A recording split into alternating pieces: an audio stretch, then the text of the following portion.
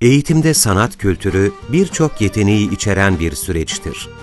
Bu süreçte çocuklara sanat kültürünü tanıtmak, amaca uygun olarak bu derslerden yararlanabilmeleri için doğal öğrenme ortamını oluşturmaktır.